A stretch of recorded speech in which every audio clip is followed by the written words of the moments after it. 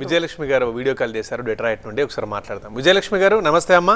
మాట్లాడండి రాజశేఖర్ గారితో. మా నమస్కారం. నమస్తే అండి. నమస్కారం.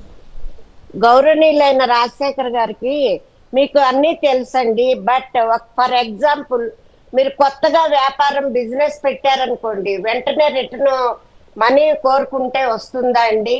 ఇకపోతే ప్రస్తుతం అధికారంలో ఉన్న కొద్ది కాలంలోనే రాష్ట్రపతి పాలన కావాలి అంటున్నారు. ఏదైనా మీరు అనుకున్నట్టు నేరాలు చేస్తే డిపార్ట్మెంట్ పోలీస్ వాళ్ళు ఉన్నారు సిఐడి వాళ్ళు ఉన్నారు మీరు అంత బాధపడాల్సిన పని దీన్ని అంత ప్రాబ్లం గా చేయాల్సిన పని ఎందుకని మా ఆలోచన. దానికి సమాధానం చెప్పండి. రైట్ అమ్మా. అమ్మ విజయలక్ష్మి గారు తల్లి మీరు ఒకటి ఇక్కడ గమనించాలా? అధికారంలో ఉన్నటువంటి కూటమి సిఐడి అయినా సరే పోలీసుల వ్యవస్థను కానీ ఈ వ్యవస్థల్ని నిర్వీర్యం చేసినటువంటి పరిస్థితులు ఉన్నాయి. వాళ్ళ డ్యూటీని వాళ్ళని స్వేచ్ఛగా చేసుకొనిస్తే ఇన్ని అరాచకాలు జరుగుతాయా? ఇన్ని మర్డర్స్ జరుగుతాయా? ఇన్- ఇలా ఇలాంటి అరాచకం ఆంధ్రప్రదేశ్లో అతి కొద్ది రోజుల్లోనే వీళ్ళు అధికారంలోకి వచ్చిన వెంటనే జరుగుతాయా?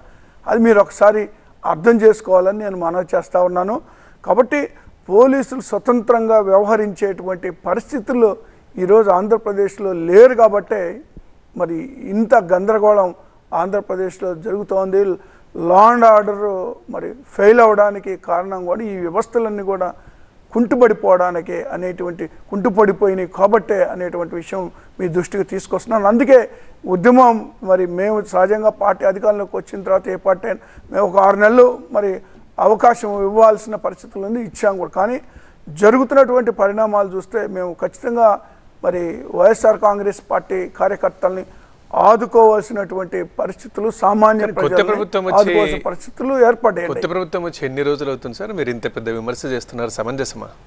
మొత్తం టోటల్ ఫెయిల్ అయింది ఆధీనంలో ఉంచుకున్నారు చేస్తున్నారు అనడం ఎంతవరకు కరెక్ట్ అనుకుంటున్నారు? అది ఇప్పుడు నేను అందుకే ముందుగా నా మాటలు ఏం చెప్పాను. ఆరు నెలల వరకు మేము ఎలాంటి విమర్శ చేయకూడదని అనుకున్నాం. కానీ అధికారంలోకి వచ్చినటువంటి వెరీ నెక్స్ట్ డేనే పార్టీ సెంట్రల్ ఆఫీస్ని కూల్చివేయడం జరిగింది. అక్కడి నుంచి పార్టీ నాయకులు కార్యకర్తల ఆస్తుల్ని ధ్వంసం చేయడం జరిగింది. అందరి కార్య నాయకుల మీద కార్యకర్తల మీద దాడులు చేయడం మర్డర్స్ చేయడం జరిగింది. అదేవిధంగా వీళ్ళు ఏదైతే మహిళల మహిళలు మహిళలు మహిళల రక్షణ లేదు అని మాట్లాడారు కదా ఇదే నాయకులు. కూటమిలో ఉన్న నాయకులు మరి ఈరోజు మహిళలు ప్రతిరోజు ఏదో ఒక చోట మరి ఒక మానభంగాలు జరగడం మర్డర్స్ జరగడం ఇవన్నీ జరుగుతుంటే ఎందుకు విన్నకున్నారు ఎందుకు మాట్లాడట్లేదు ఎందుకు వాళ్ళు రక్షణ కల్పించలేక పోతున్నారు అనేటువంటి దాని మీద ఆందోళన చెంది మేము. ఉద్యమానికి ముందుకు రావాల్సిన లాస్ట్ కాల్. తీసుకుందాం వెయిట్ చేస్తున్నారు